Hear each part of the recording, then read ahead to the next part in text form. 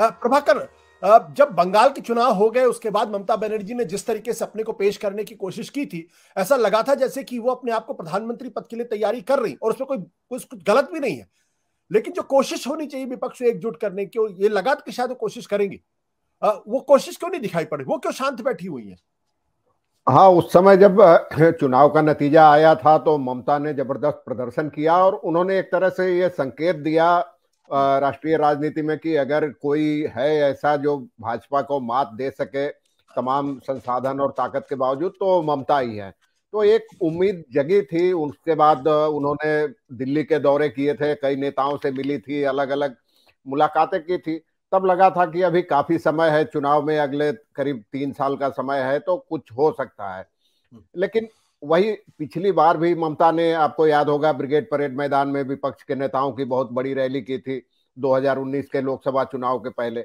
लेकिन आ, मुझे लगता है हालाँकि नीतीश कुमार हो ममता बनर्जी हो ये लोग कहते तो हैं कि मुझे प्रधानमंत्री नहीं बनना है मुझे विपक्ष को एकजुट करना है लेकिन कथनी और करनी में अंतर दिखता है। मुझे लगता है सब लोग प्रधानमंत्री बनना तो चाहते हैं इसलिए बार बार कहते हैं कि मैं नहीं बनना चाहता।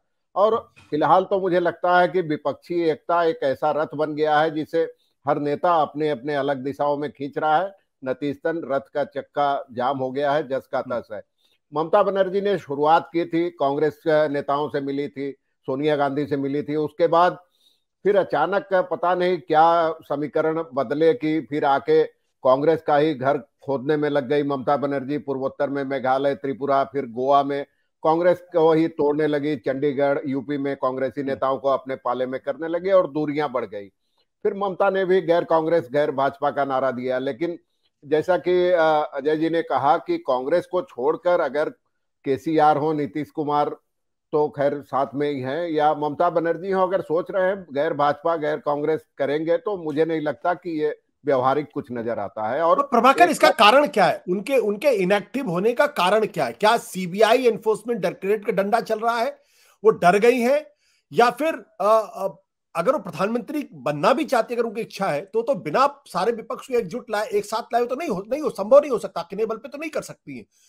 तो क्या मजबूरी उनकी दिखाई पड़ती? क्यों नहीं कोशिश कर रही है? तात्कालिक तो कारण ये था कि उस समय कई मंत्री उनके करीबी फंस गए थे। सीबीआई के जाल में शिक्षा जो शिक्षक भर्ती घोटाला हुआ था, उस कारण ममता अपना घर संभालने में, कुनबा संभालने में जुट गई, जो डैमेज कंट्रोल होना था, हटाना था, ये करना था।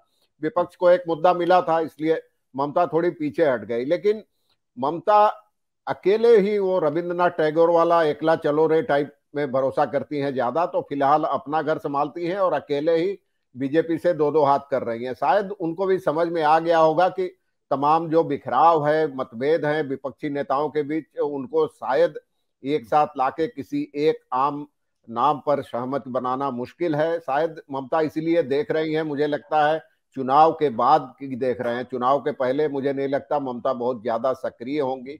हालाँकि बीच बीच में बयान देती रही हैं जब नीतीश कुमार ने पाला बदला था तब भी ममता ने कहा था प्रभाकर क्या आपको लगता है कि क्या आपको लगता है कि उनको निष्क्रिय कर दिया गया है ममता को? अब बीच में तो ऐसे भी आरोप लगे थे जब खासकर उपराष्ट्रपति का चुनाव हुआ था तब हिमंत विश्व शर्मा और धनखड़ और ममता की मीटिंग हुई थी दार्जिलिंग में। उसके बाद ऐसे आरोप लगे थे कि ममता के समर्थन के बदले सीबीआई को ढीला कर दिया जाएगा को सुस्त कर दिया जाएगा खासकर अभिषेक बनर्जी और उनकी पत्नी के खिलाफ जो मामले चल रहे हैं अवैध कोयला खनन और तमाम चीज़ें चल रही है। तो अब इन आरोपों में कितना दम है ये तो कभी हकीकत सामने आती नहीं जिनको पता है उनको पता है अटकलें और अफवाहों का ही जी। मामला होता है। लेकिन ममता मुझे लगता है अभी तेल और तेल की धार देख रही हैं एक तरफ़ नीतीश कुमार दूसरी ओर केसीआर क्या करते हैं चुप्पी साधे और अपने पत्ते उन्होंने खोले नहीं है और फ़िलहाल पूर्वोत्तर में त्रिपुरा और मेघालय में ममता का ज़्यादा ध्यान है क्योंकि वहाँ वो अपने पाँव जमाने की कोशिश कर रही है। कहीं ऐसा ना हो कि तेल निकल जाए वो धारी देखती रह जाए। सत्य हिंदी का ऐप डाउनलोड करें गूगल प्ले स्टोर पर।